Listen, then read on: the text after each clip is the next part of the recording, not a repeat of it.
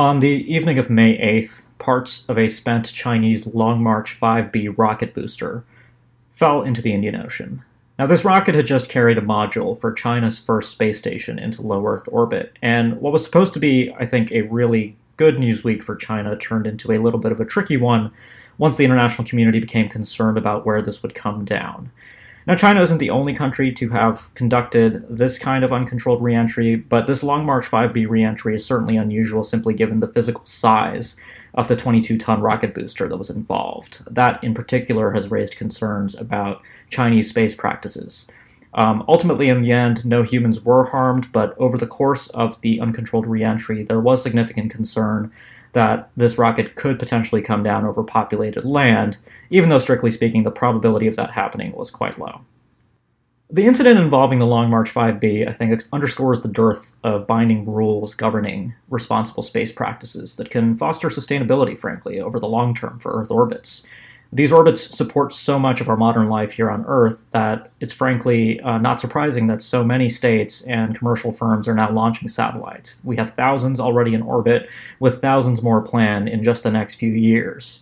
As news coverage leading up to the eventual splashdown of the Chinese rocket underscored, there's lots of uncertainty about where space objects are at any given time. Because space is large and speeds are so high when these things are moving around, the scope for measurement error in particular is quite high.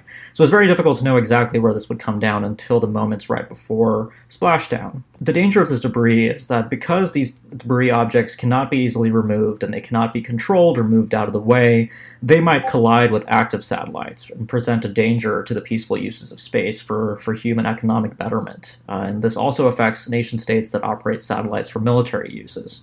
As these collisions occur, they create more pieces of debris that in turn increase the probability of further collisions yet, resulting in what's known as a collision cascade, which happens over a long period of time but overall decreases the sustainability of space without a spread in best practices to manage space debris and to finally reduce and remediate debris over the long term, it is simply not assured that future generations will have access to space uh, for economic use and military use and other uses in the same way that we do today.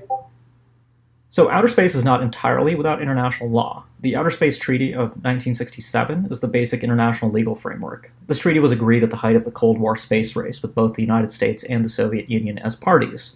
The OST notably banned the emplacement of nuclear weapons in space and called on all of its parties to limit their use of the moon and other celestial bodies for peaceful purposes only. It did not ban military activities in space, and the OST remains subject to differing inter- interpretations among its signatories.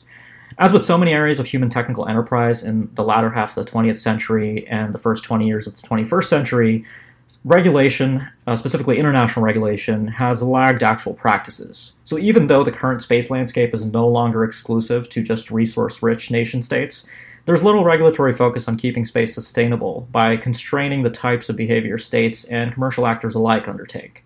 Recent efforts to add to the body of space law at the international level have become bogged down in geopolitics, and there's really been no progress.